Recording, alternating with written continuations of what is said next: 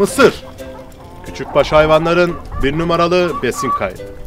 Mısır olmasaydı bu görmüş olduğunuz tavukları besleyemezdik. Gel kızım.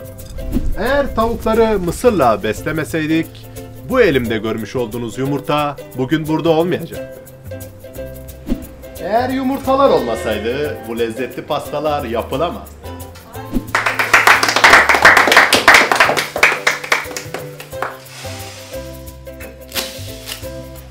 Eğer bu lezzetli pastalar yapılmasaydı Merve doğum gününü kutlayamazdı.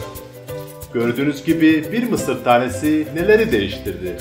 Kim bilir belki de siz de Kom'daki yaratıcı projeleri destek vererek hayatınızı değiştirebilirsiniz. Fonlabeni.com